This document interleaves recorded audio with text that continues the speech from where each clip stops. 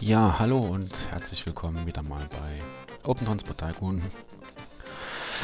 Wir waren ja hier bei Gera stehen geblieben in der letzten Folge und ich werde das heute so machen. Ich habe in der letzten Folge erzählt, es gibt ja dieses Speicherproblem hier mit dieser Aufnahmesoftware und ich werde einfach zwei Folgen mit 10 Minuten jetzt aufnehmen und die unmittelbar hintereinander rendern.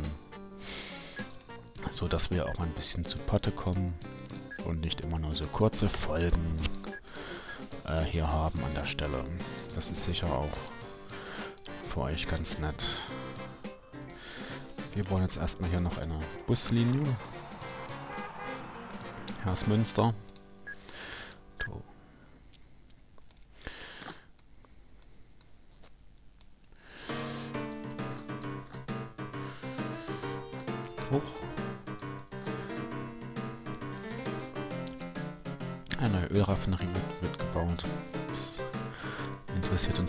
Weniger.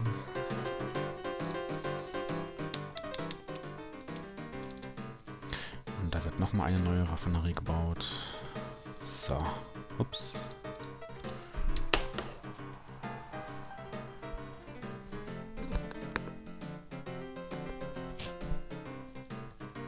Und dann kann er bloß nach Hersmünster jetzt fahren. Hier sind die Gegner. Kann man da was nutzen? Nein, leider nicht. Okay. Wo waren wir denn zuletzt stehen geblieben?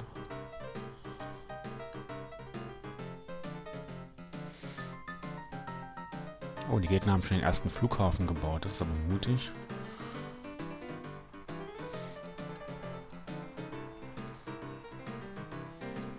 Das ist sogar sehr mutig. Und wir müssen einfach mal schauen, dass wir den Anschluss nicht verlieren. Nee, das lohnt sich noch nicht. Das heißt, wir müssen mal massiv hier ähm, ausbauen. Ihr wisst schon.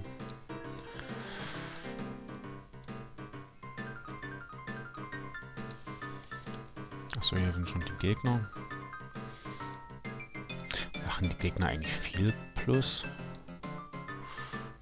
Ja. Aber uns stehen ja dann noch zahlreiche Möglichkeiten offen, die Gegner ein wenig zu manipulieren. Sag ich mal so. Und ich denke, das werden wir dann bestimmt auch nutzen.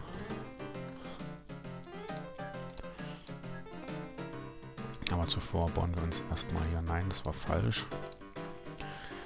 Erstmal hier die Kohlestrecke.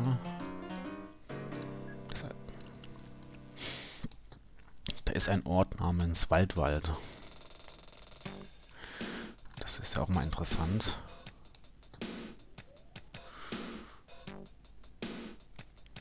Ich glaube, das reicht nicht ganz.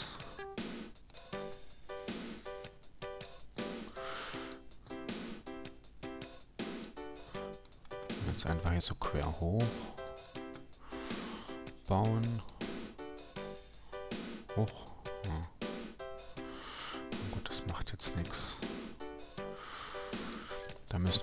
Land noch etwas plätten. So, okay. Jetzt können wir den Zug fahren lassen.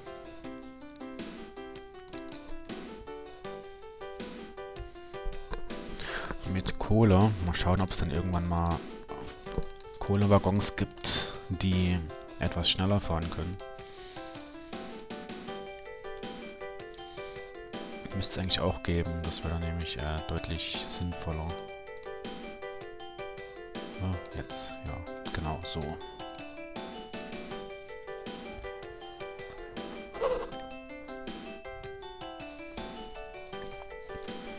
So. Oh, hier sehe ich eine Möglichkeit, ähm, Viehzeug zu, zu transportieren. Einer kurzen Strecke. Ich denke, wir sollten jetzt einfach mal für den Anfang jedes mitnehmen, was wir mitnehmen können. Das Ziel soll es ja irgendwann mal sein, die Gegner aufzukaufen.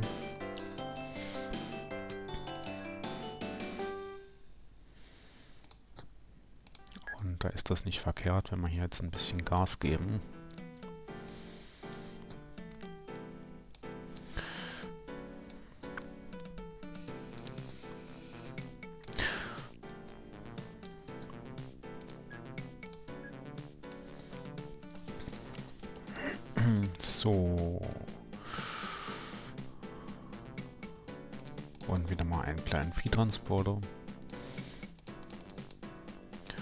Und ein bisschen Getreide. Ups, die können wir jetzt zum Glück alle einzeln ähm, umrüsten. Nee. Ja, wie ging, ging denn das hier? Machen wir erstmal die. Auf Getreide. Und jetzt die hier. Will bloß die haben. Na gut, dann machen wir das halt einzeln, wenn es nicht anders geht. So, jetzt müsste das eigentlich passen. Wir gucken lieber nochmal nach. Ach, was mache ich denn hier schon wieder?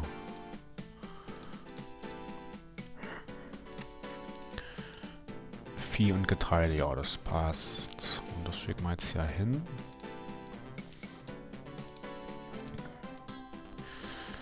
Dann ab dafür. Und jetzt hier war ja noch eh ein Bauernhof gewesen. Den werden wir auch gleich noch anbinden. Nehmen wir hier zwei oder nehmen wir hier einen? Ich glaube, wir können ja einfach einen Zweier nehmen. Ich sag mal so, die Distanz gibt das her.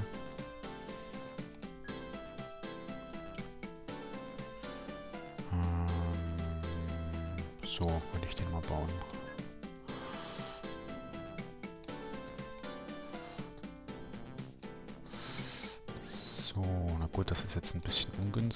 Gemacht. Ich glaube, das wird nicht so genau... Verzeihung. Ich glaube, das wird nicht direkt gehen hier.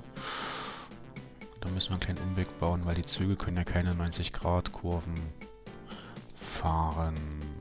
Das hatte ich ja so eingestellt gehabt. Damit es ein bisschen realistischer ist. Aber na gut, wir werden einfach sehen, ob das hier klappt. Und wenn nicht, dann müssen wir einfach nochmal äh, umbauen. So, jetzt schieben wir das hier runter.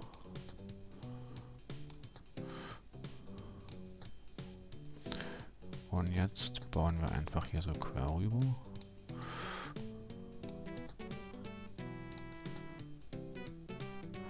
Und dann müssen wir einfach hier nördlich von dem Bauernhof ankommen, so ungefähr. Das wird sich ausgehen. Was mir aber nicht so gefällt, wir können eigentlich das hier gleich mal so platt machen.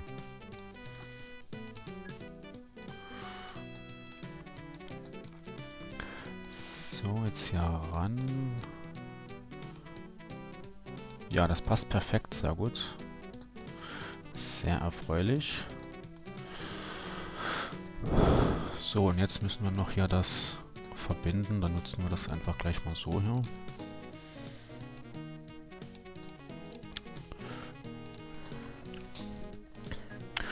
Und jetzt müssen wir noch die Signale aufstellen.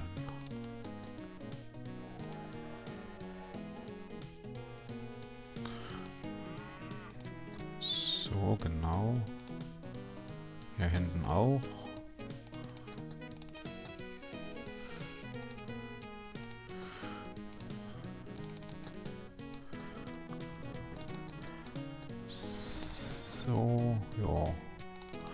Das müsste eigentlich funktionieren.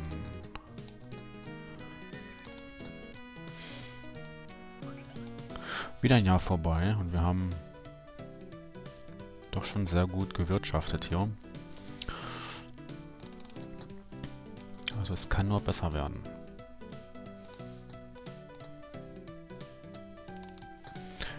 Würde ich einfach mal sagen. Der Ertrag von Fahrzeug 16 lag im letzten Jahr. Ach, da müssen wir gleich mal gucken, was da los ist. Oh, das war falsch rum. Mist, jetzt habe ich ja Mist gebaut.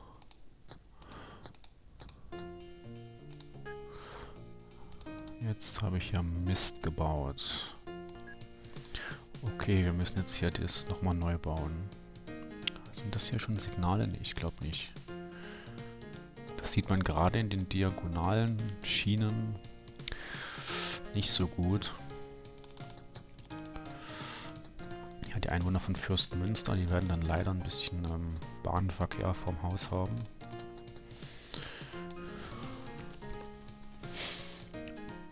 Aber naja.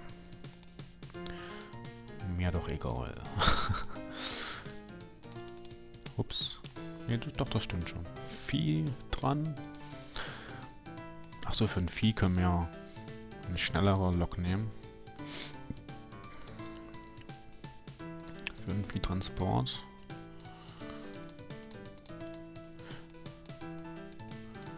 Das war ja so, stimmt. Ach Quatsch. Kann ich den nicht umrüsten? Ah ne, ich bin im falschen Zug. Den hier muss ich nehmen. Und umrüsten auf Viehzeug. Steht das Signal dort falsch? Ne, das sah nur so aus.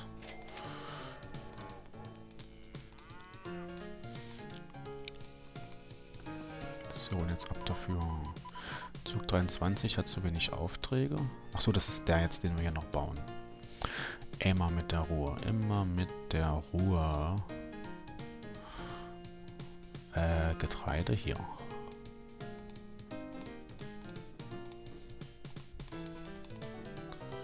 Umrüsten auf Getreide und dann...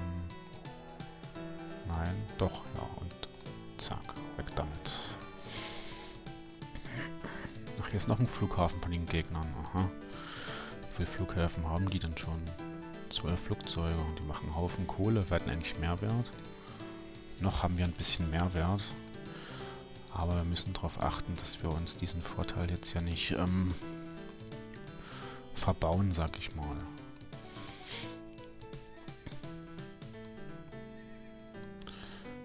Aber wo ist denn, wo war denn die Stelle mit den zwei Städten, mit den mehreren Städten, die zusammen wachsen sollten?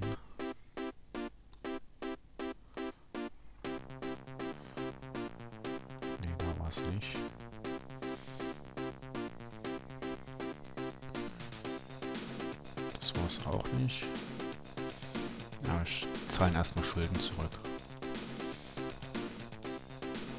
Na, da sind wir schon fast schuldenfrei. Erlangen nach Ingolsberg. Ich denke, die reisen wir uns unterm Nagel.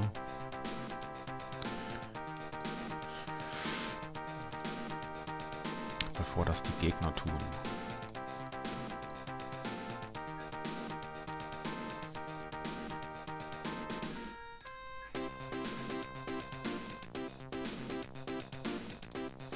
Hoch, das Geld reicht dafür nicht ganz.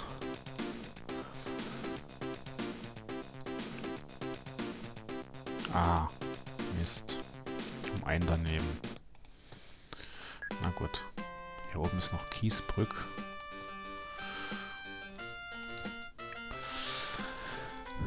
So, Passagiertransport. Fernverkehr 160.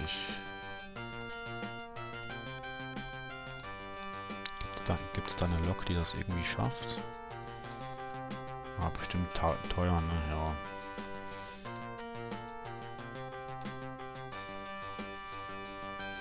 Das ist alles noch so teuer. Dann nehmen wir wieder mal hier diese billige. 80 im Fernverkehr.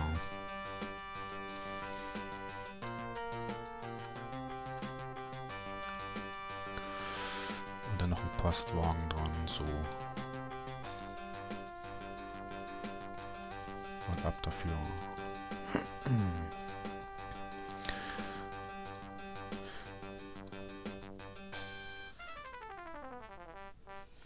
Hier gibt es aber auch sehr viel Erz, aber die passenden Fabriken dazu leider nicht. Aber wo war jetzt diese Stelle, wo wir diese Städte-Fusion haben wollten?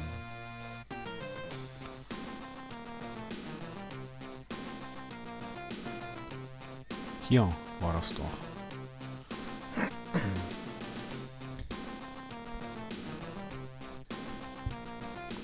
Gut, hier ein Flughafen in der Mitte, das passt.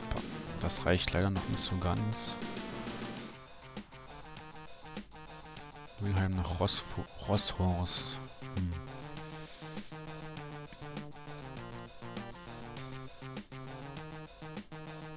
Dresden nach Magdeburg an der Elbe. Hier ist das jetzt mal Zufall.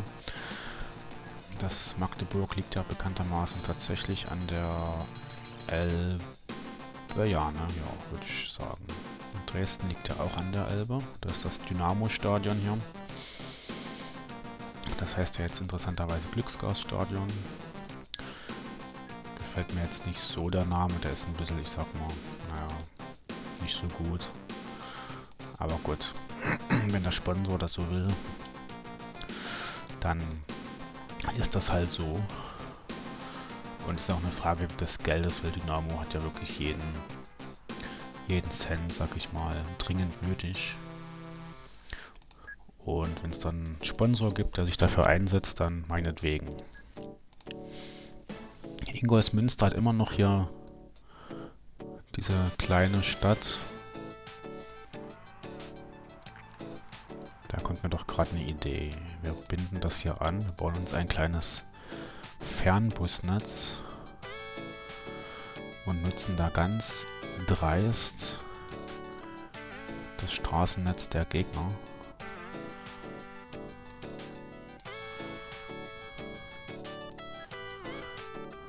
Wenn die schon meins mit benutzen, dann... Ach, jetzt geben die mir... Geben die mir keine Genehmigung, hier eine Bushaltestelle zu bauen. Ja, da habt ihr einfach Pech gehabt. Dann bauen wir hier nach Oranienbrück einfach. Wenn ihr nicht wollt, dann... Später kann man dann auch, wenn man genug Geld hat, die Stadtverwaltung bestechen, sodass man dann äh, diese Firmenbewertung dann besser wird. Und man dann trotzdem bauen kann, denn wenn man eine schlechte Firmenbewertung hat, dann kann man, kriegt man auch keine Genehmigung, dort was zu bauen und diese Firmen, äh, diese, diese Bewertung, die verschlechtert sich zum Beispiel, indem man Bäume abreißt oder ich sag mal viel Landschaft verwüstet. Das finden die, die Städte dann nicht so prickelnd, sag ich mal. Daher sollte man das möglichst vermeiden, dass man hier alles einreißt. So, wir bauen jetzt hier ein verstärkten Flugzeug hoch. Wir bauen jetzt hier noch ein paar kleine Buslinien. Zahlen unsere Schulden jetzt komplett zurück.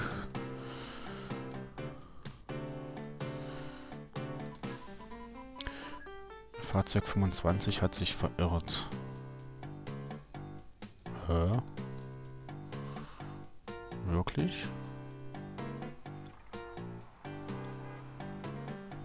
Oh. Jetzt. So waren wir jetzt eben gewesen. Ach, hier bei Essen, ne? Ja, genau.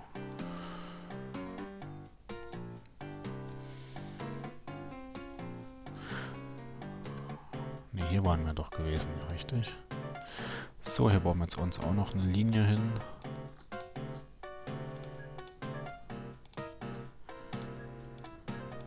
Immer schön die Station in die Nähe des Stadtzentrums bauen. Na, das geht hier bei Frankberg. Na doch, geht es auch schon so ganz. Und ja,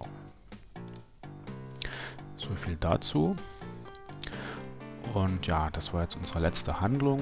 Der Bus fährt raus nach Frankenberg und dann zurück nach Nordheim und immer so weiter. Und ich sage einfach mal, ich verabschiede mich bei euch und sage Tschüss. Auf Wiedersehen bis zur nächsten Folge.